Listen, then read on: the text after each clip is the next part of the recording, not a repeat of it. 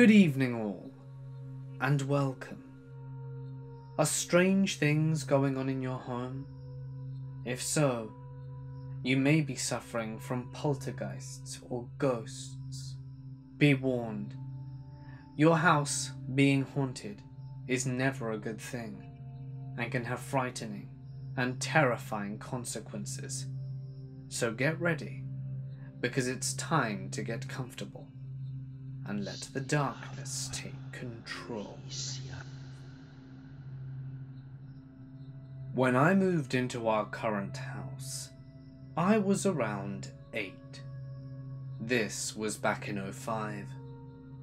I remember that we had this boring and very ugly front door. It was doubly annoying because the mechanism that locks the door in place was broken. You could continuously spin the doorknob in either direction and have it not open. So we took the mechanism out, and you would just need to push or pull the door in order to get it open. Now, I was about to head upstairs when I noticed that the doorknob was spinning. I pulled open the door to see who was on the other side, and there was no one. I closed the door and was about to turn around again when the doorknob continued to spin. This was only possible if someone was manually turning it.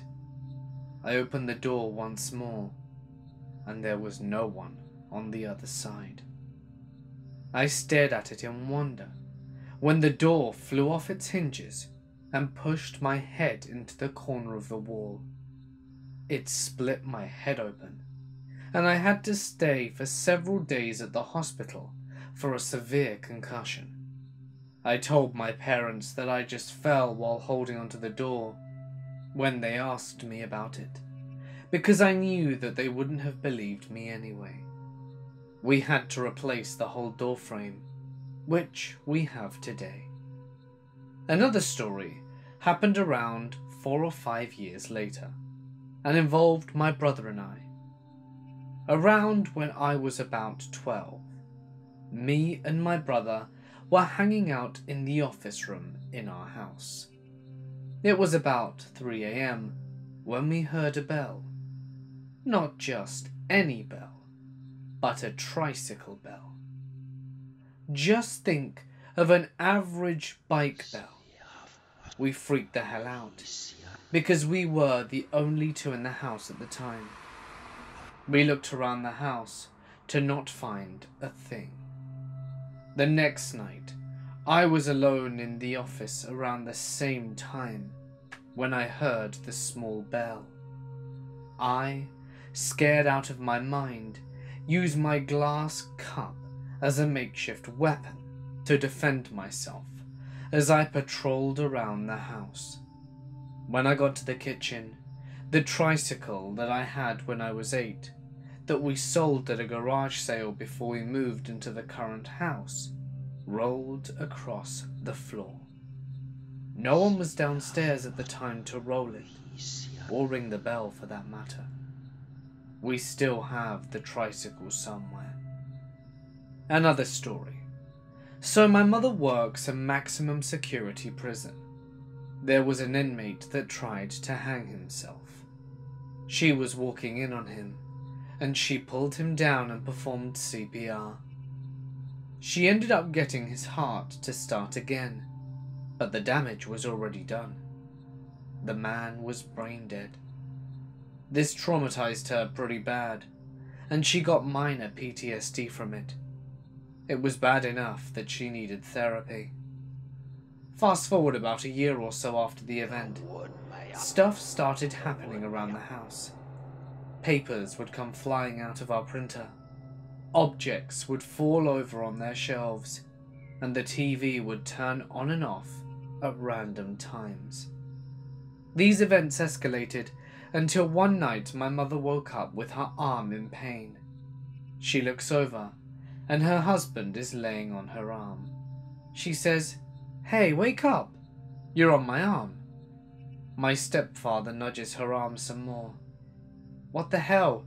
Get off my arm! Now, mind you, my mother had surgery on her arm in the past, and it's incredibly painful even to this day. So, she is in a lot of pain. She tries to push him off her, when she finally says, Get off my arm, you're hurting me. At this point, my stepfather opens his eyes and turns over so that all of his weight is pinning my mother's arm down. Except it wasn't my stepfather.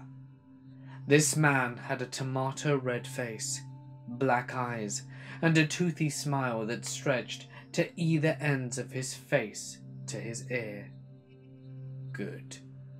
My mother proceeded to flip out and start crying to stop and that she was terrified and to get off her arm. My mother eventually pries her arm out from under this intruder and runs downstairs. She wakes the kids up and takes them into the living room to prepare to call 911. My stepdad comes down to the living room, except he is himself.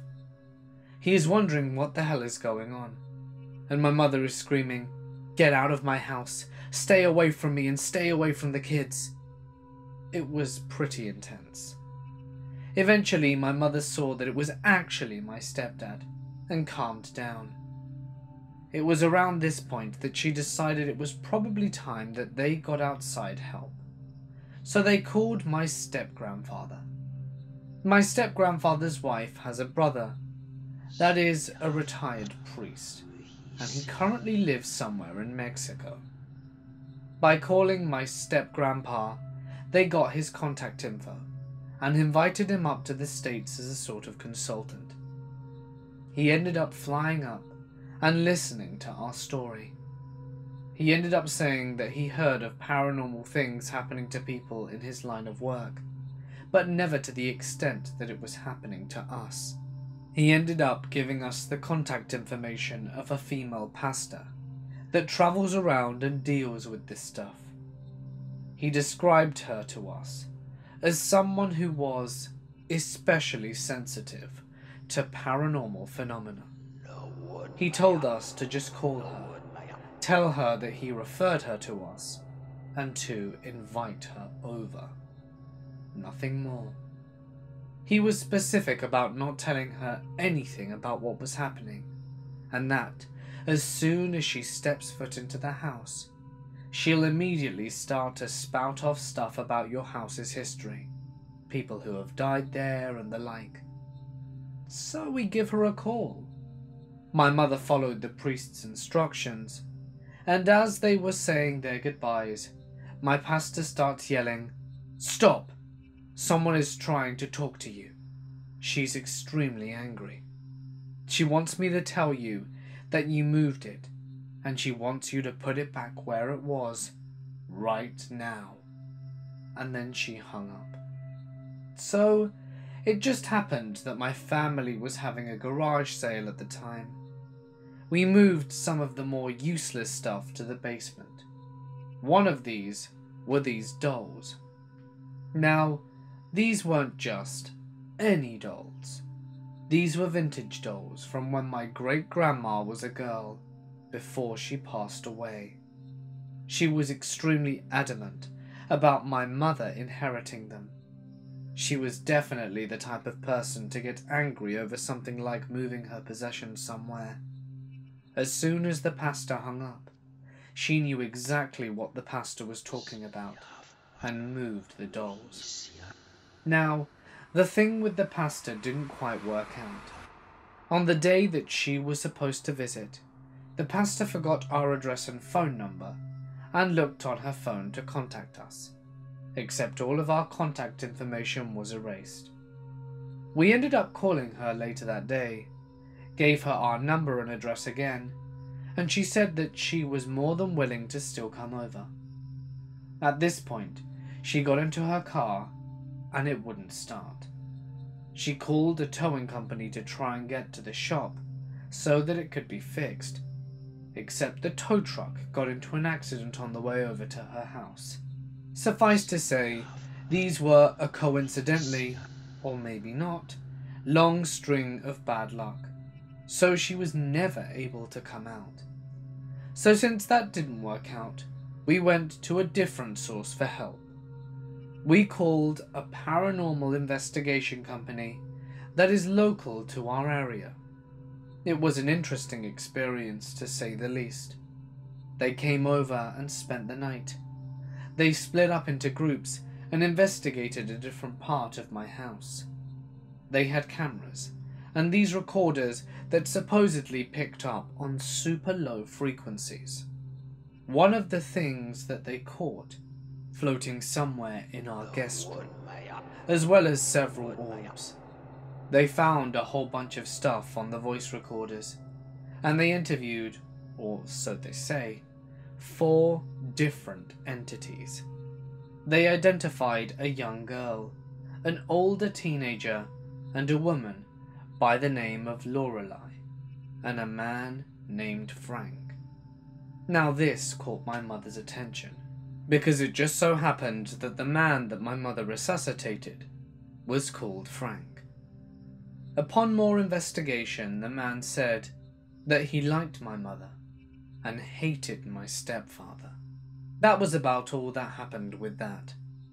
For a while, the paranormal investigators became kind of famous within their community because they got a lot of evidence. So around this time is when I took some leave from the Navy and came back home. It was very quiet while I was there, except for one night. I was sitting in the living room reading when I felt like someone was watching me. It got so bad that I actually went outside with a flashlight and started looking through bushes because I was convinced that someone was stalking me. It ended up being nothing, and the feeling went away after a couple of hours. Fast forward to a couple of months ago. My uncle's childhood best friend, that we hadn't talked to in many years, stopped by for a barbecue. He had a new girlfriend. As soon as my family friend and his girlfriend stepped through the door, the woman stopped abruptly and asked my mother, How many do you have? My mother said, I have five children. Four are from me, and the other is a stepdaughter. No, that's not what I meant. My mother said uncertainly, we have four ghosts. A little girl, a teenager, a woman, and a man. No, you have at least two men. Because I have two brutes that are currently screaming in my face and telling me to get out. My mother and her had a very long conversation. Now, I would take what I'm about to tell you with a grain of salt. As soon as my mother told me this, I said, No way. That's the most tall-tailed bullcrap I've ever heard. But you never know. Maybe I'm wrong. The woman told my mother that she's always had the ability to see ghosts all of her life, among other things, such as telekinetic abilities. She used to shatter light bulbs above her mother's head when she was a little girl. One day, her teacher was being mean to her the next thing you know, the teacher is being lifted up off the air and pinned against the wall by some invisible force. She told us that she was then taken away by the government and had experiments performed on her to try and replicate the event. She said the government hadn't had contact with her in some time. Yeah, I'm not too sure about that last part, but whole sensitivity thing was obviously pretty consistent with our experiences. Something else that she told us was that the whole land around us was still haunted as hell. She said that the neighbours across from us have nothing less than an infestation, and she had never seen anything like it. She ended up leaving, and all of the paranormal events stopped. She later contacted my mother and mentioned that the two men that were shouting at her left with her because they found out that she could see and hear them. They started messing with her by hiding her stuff under her bed and knocking things over. She told us that she could get rid of them though, and since then it's been quiet.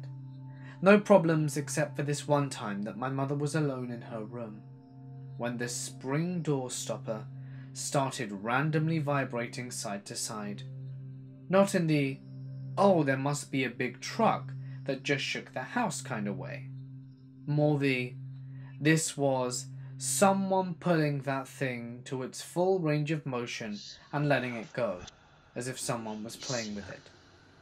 My mother remembered the little girl ghost that was at the house and said, I know you're there, honey. It's okay if you want to play a bit. You can stay here as long as you're not mean. And that was that. I am definitely a skeptic. But one experience I had house sitting for my aunt and uncle definitely raises some questions for me. They were going out of town for a weekend and asked if I would keep an eye on the house and take care of their dogs while they were away. I was staying with my grandparents for the summer, as I usually did, and being a 16 year old with a brand new driver's license, I jumped at the chance for a few days of freedom with a house to myself during my summer vacation. I picked up my PlayStation, rented some games and movies, and stocked up on snacks and headed over to their place. The first night there was uneventful, but I remember feeling slightly uneasy being in the house. Nothing out of the ordinary was going on, I just attributed the uneasiness to being in the house alone for the first time, without my aunt or uncle there.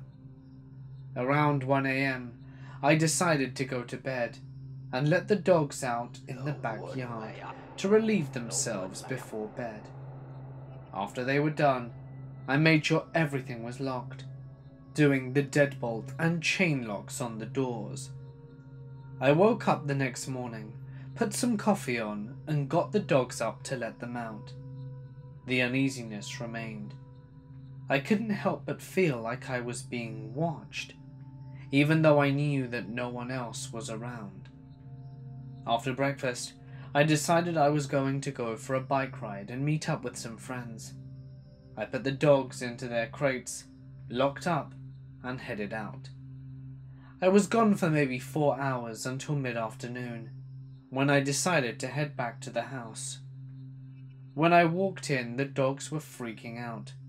Not your normal, happy to see you let me out the crate excitement, but full blown panic, shaking and foaming at the mouth, and howling the works.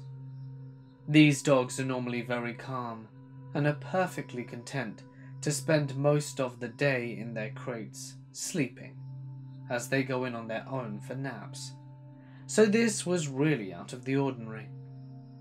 I opened the doors to their crates, but neither of them wanted to come out. Being a little freaked out myself at this point, I decided to check the house to make sure nothing had happened. All the windows were fine, everything was still locked, and the house was completely empty. At this point, I should mention how the house is laid out. It's an old house, late 1800s, and prior to my aunt and uncle owning it, it was divided up as a duplex. The upstairs was a separate apartment. They mentioned that an older woman had rented the upstairs while the previous owners lived downstairs. My aunt and uncle didn't rent the upstairs, but didn't really do anything to convert the house back into a single family dwelling. My uncle used the upstairs apartment as his home office, with several computers and a couple of modems, early 2000s dial up. And most of the time, the door to the upstairs in the enclosed porch off the kitchen just stayed closed and locked. There wasn't really any reason to go up there. I decided, in an abundance of caution, since the dogs were so freaked out, that I should check the whole house. I unlocked the door to the upstairs and went up to check. I noticed that one of the computers was on. This was odd, as my uncle had said in his note that he'd shut off everything upstairs and unplugged the surge protectors. Maybe he meant to do so, but got into a rush to get out the doors and forgot. No big deal.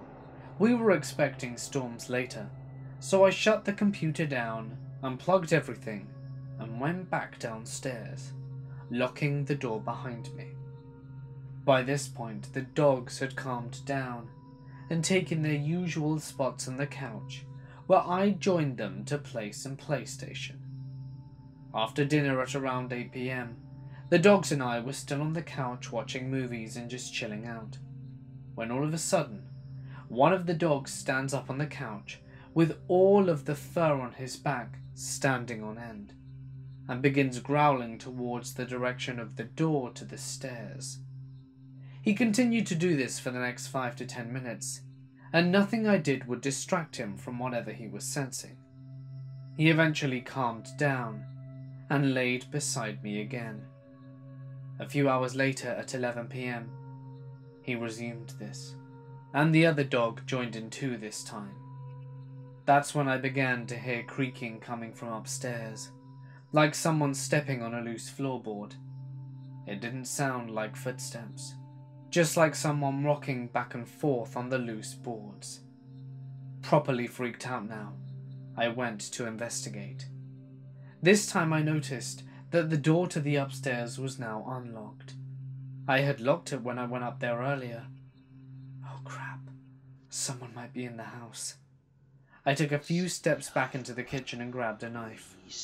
You know, like a horror movie cliche. I checked the porch door to the backyard which would be where someone would come into to get into the upstairs apartment. It was still locked. Okay, weird. The creaking upstairs was still happening.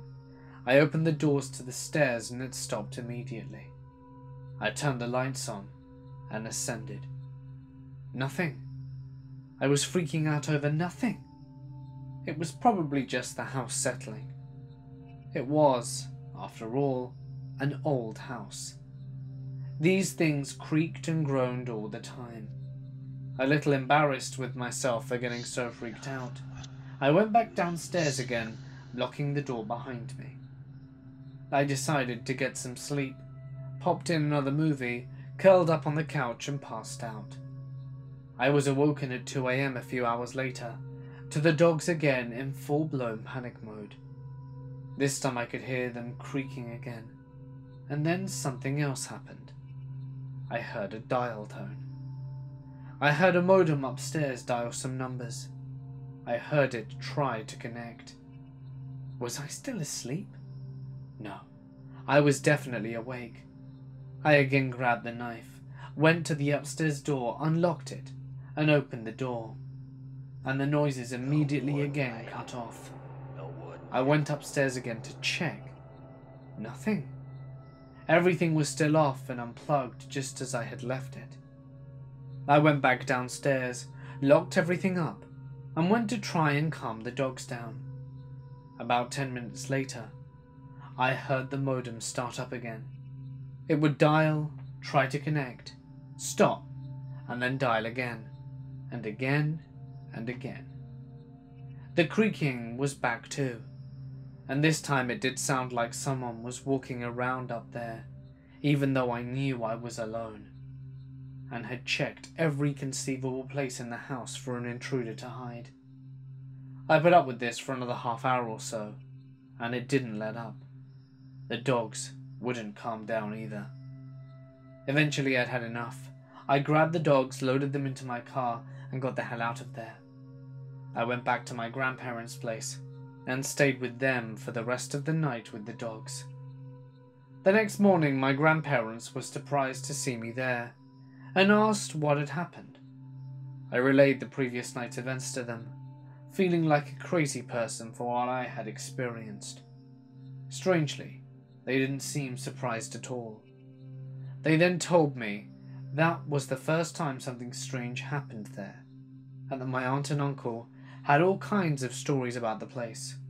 For example, my little cousin frequently woke up screaming that a shadow man was looking at him in his bed, and my uncle going upstairs to work on his computers one day and discovering that the gas stove had turned on, leaking gas into the house, and all kinds of things had been misplaced or doors left unlocked. I still don't think I believe in the paranormal and consider myself an agnostic atheist, but I still can't find a reasonable explanation for what happened and what I experienced that weekend. It was all too weird. My BFF, myself, and a mutual best friend rented a super old, think in the early 1900s, house, situated perfectly on the edge of the bad part of town, the college only part of town, and on the way to the good part of town. So it was heavily trafficked by classmates and a big party place. BFF is super into paranormal stuff, but not weird about it. Very level headed. Think raised in rural Appalachia and all the folklore that goes along with it. Our mutual best friend wasn't heavily oriented either way, but pretty open to that sort of stuff. I was an avid denier, despite having a few unexplainable experiences in the past. The knocking started happening pretty much immediately, but none of us figured it out for about a month, because we thought it was just happening to us individually. Like one of us would be in our bedroom or the bathroom. It was especially likely in the bathroom door and any door leading out of my mutual best friend's room. For whatever reason, it never happened with any exterior doors, and there'd come a knock on the door. We would shout, Come in, or Who is it? to no answer, just another knocking. Always loud and formal, like three perfectly timed knocks. You would call, Come in, or whatever, as long as you liked. There would never be any answer, and never anyone actually there. I thought it was my roommates just screwing around, or old house stuff. I don't know. I was 22. And the others initially thought variations of the same thing. Then, we were sitting around smoking a bowl one night, and my best friend forever brings up the knockings, explaining what's been going on. And we all look around at each other, that kind of holy crap, you too moment, and we all swapped stories. We laughed, because it didn't really feel super threatening with all of us just chatting about it. My BFF suggests paranormal. Mutual best friend kind of laughs it off and says, maybe. And I flat out dismiss it because no way, and we go on. It keeps happening, mostly randomly, but it's happening now when other people are actually on the other side of doors. So it's not 100% just random hallucinations passing back and forth. On the night it got really overt, BFF and I were just sitting on the couch watching TV. MBF in his bedroom, with doors shut. One of his bedroom doors went directly into the bathroom, one directly into the living room where my BFF and I were watching TV, and a third directly into my bedroom. Think sort of circular layout with doors going through common areas, but also connecting sleeping areas. So BFF and I are in the living room and can see the shut bedroom door of the mutual best friend, as well as the open bathroom door from the common area. We can clearly see that no one is in the bathroom, and can clearly see the mutual best friend's bedroom door.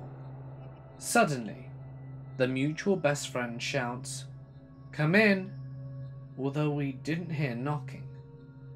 But that often happened. Only the person responding was actually hearing the noise.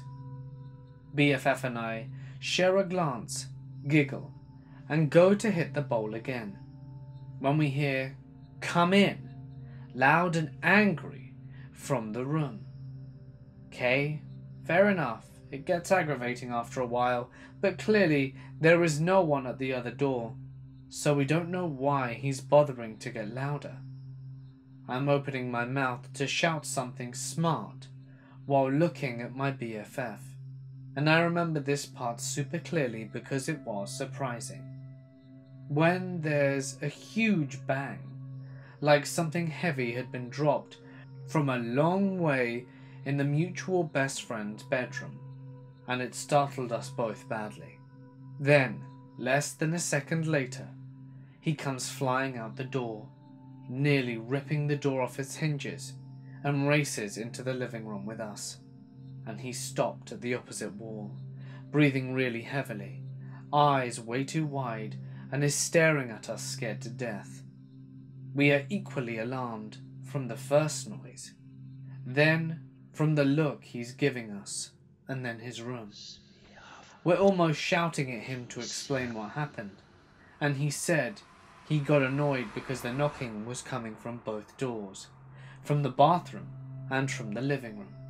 And he went to jerk open the bathroom door, but when he started to pull on it, it yanked out of his hand and closed, like way harder than should have been possible.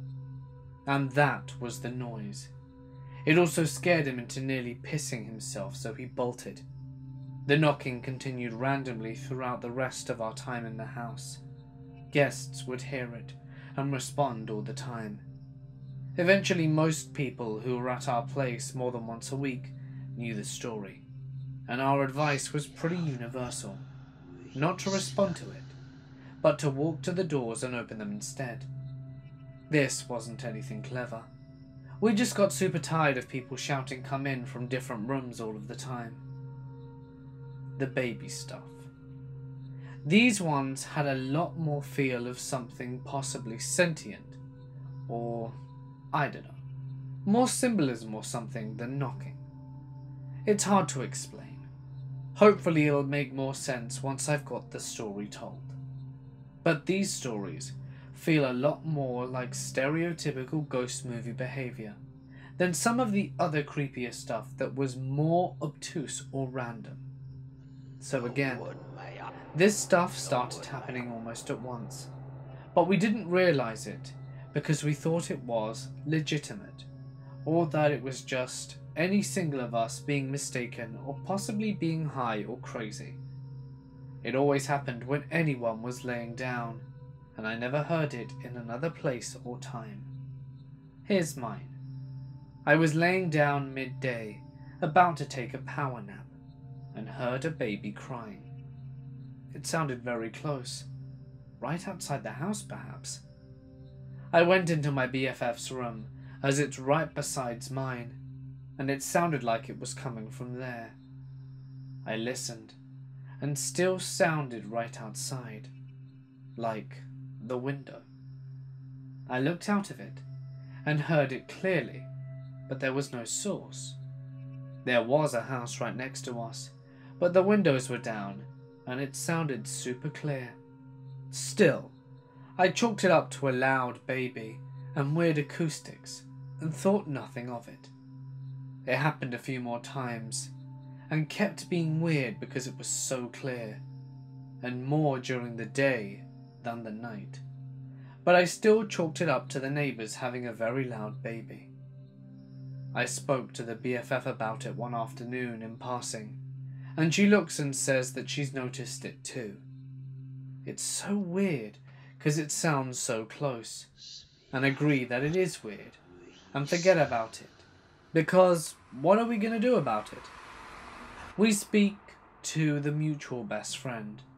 This convo was a bit later than the big scary knocking incident, so he's understandably less dismissive of the weird stuff now, and he agrees he's heard it, so really didn't care to check about it.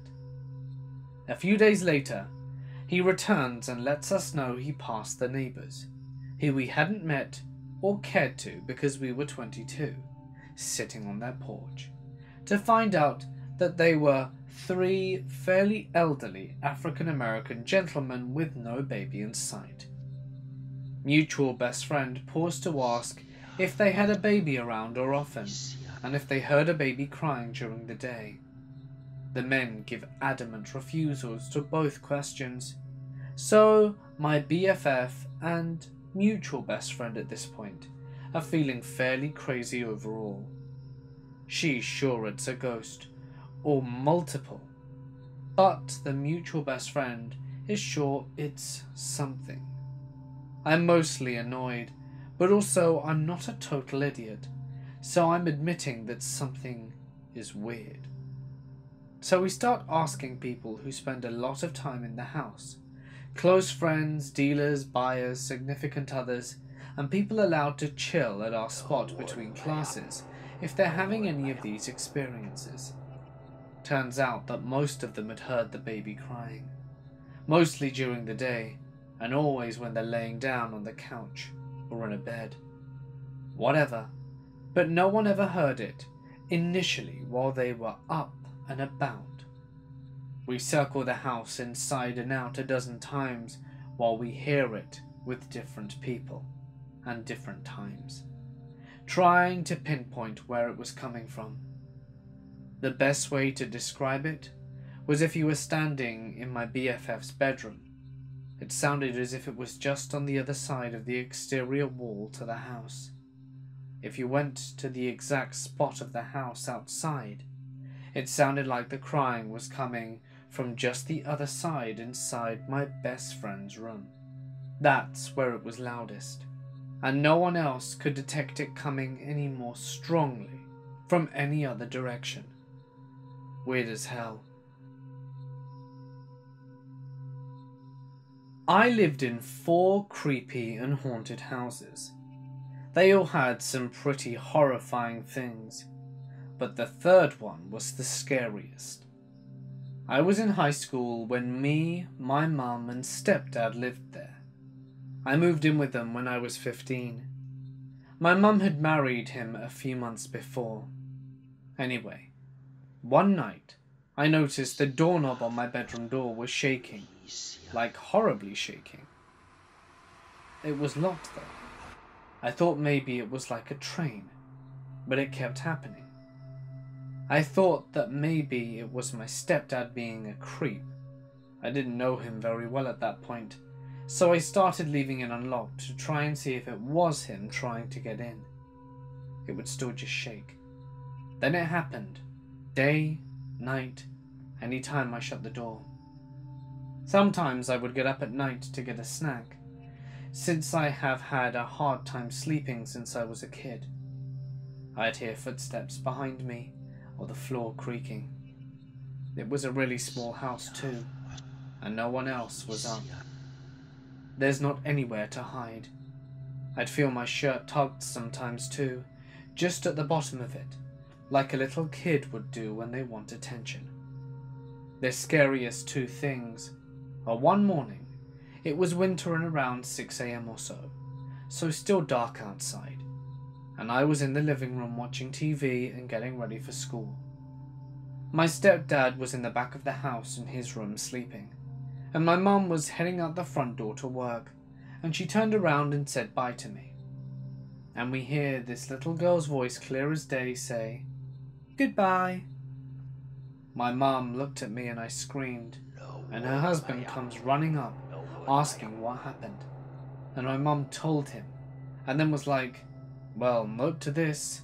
Bye. And left. Then, the last scary thing was that our neighbour, whose backyard connected to ours, but they lived around the corner, came over to yell at my mum one day, saying that she's a crappy mum for letting our little sister out all night and play on the swing. We had a rope tied to a tree that no one ever used, and my youngest sister lived in another town with my dad, and so my mum was really confused. The neighbour said she would go out for a smoke at night and would see a little girl swinging on the rope and laughing, and she'd see it multiple times when she went out. My aunt works at the city and did research, saying that our house had been moved from another location. It was really old. I don't know if either of these attributed to the little girl or what.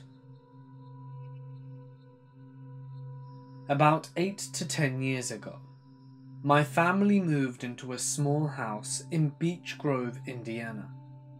It was a two story house with a basement. Our basement was used as a playroom for me and my two siblings. It was shaped in an odd way, almost like a horseshoe. It had a divider wall running horizontally down the basement. One side was a playroom, and the other had our washer, dryer, and storage space. This storage space was creepy as hell, and no one liked going back there. It was straight out of a horror movie, dark, with only a single light bulb in the center of the room, that had a pull string dangling and warm colors on the walls. The best part is that on the other side of the thin divider wall was the kids' playroom. Anyway, one day my dad gets kidney stones, and at around 9 pm or so, he decides he needs to go to the hospital. My mum asks if I wanted to come along with them and my siblings, and I say no, because I'm really into the racing video game scene that I'm playing. So I'm playing my game without a care in the world, and I finish up a race close and whistle to myself as if to say, Whew, that was a close race. Then I hear it. My whistle responded back to me from the other side of the divider wall. At first I thought it was just an echo, so I whistled something more complicated. Almost immediately it whistled back. I kept whistling and heard mimic responses for a solid two minutes. I finally got freaked out and ran upstairs and locked myself in the bathroom. When they finally got home and found me locked in the bathroom crying and freaked out, they believed me when I told them.